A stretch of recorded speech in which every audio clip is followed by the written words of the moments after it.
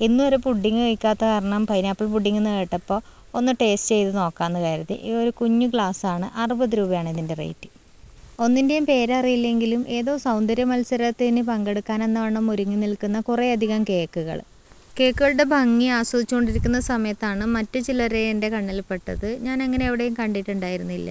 ഗ്ലാസ്സിലും ബോട്ടിലും ഒക്കെ ആയിട്ട് നിരത്തി വെച്ചിരിക്കുന്ന പുഡിങ് കൂട്ടത്തിൽ കൊള്ളാമെന്ന് തോന്നിയത് പൈനാപ്പിൾ പുഡിംഗ് ആണ്. അപ്പോൾ അതൊന്ന് സെലക്ട് ചെയ്തു. ടേസ്റ്റ് എങ്ങനെയുണ്ട് നോക്കാമെന്ന് കരുതി. ഇതെന്താണെന്ന് എനിക്ക് മനസ്സിലായില്ല. കേക്കോ മറ്റോ ആണെന്ന് അത് ചോദിക്കാനും ഞാൻ വിട്ടുപോയി.